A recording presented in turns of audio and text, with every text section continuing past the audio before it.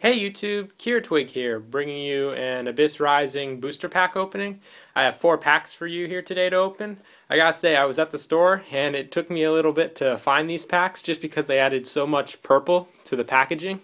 I couldn't recognize them. I'm glad I found them. Um, so yeah, there's a lot of cool stuff in this set. Um, I'm sure you guys have seen a lot of the videos before, so we'll go ahead and get started. Four packs and hopefully we'll get some good stuff. I do like the purple packaging though. Kind of cool. Let's see what we get. A Heroic Advance, Small Penguin, um, Madolche Messengelato, and Gaga Cowboy. It's a pretty good start off right there.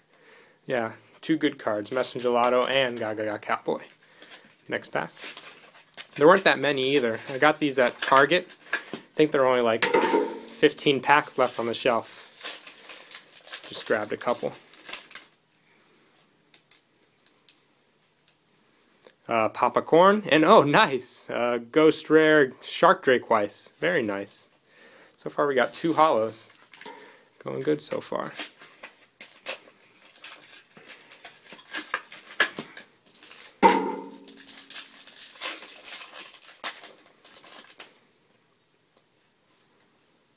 Uh, Snowdust Giant and uh, Mermail Abyss Megaios. Oh god. We're getting one of each hollow so far. We got an Ultra, a Ghost, and a Super. Last pack. I think I'm going to have to go back and buy the rest of the packs after this.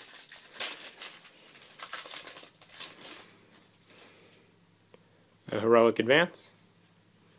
Papa Corn, and a Heroic Champion Gandiva. Wow. We got four hollows out of these four packs. That's awesome. I haven't had too much luck with Return of the Duelist, but I'm doing good so far with Abyss Rising. Just do a quick recap. We got four Xyz too, so that's pretty sweet. Uh, Gandiva, Abyss Gaios, Shark Drake Veiss, and Gaga Cowboy. And everything is for trade, so if you guys want anything, just send me a PM and we'll work something out.